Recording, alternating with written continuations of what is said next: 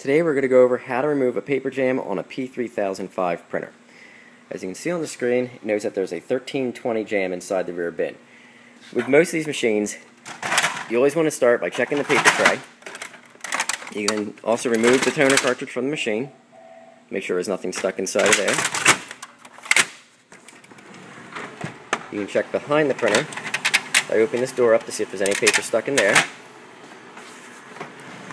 And on this particular model, you also have to check the duplexer assembly, which you can release by pressing this green button right here.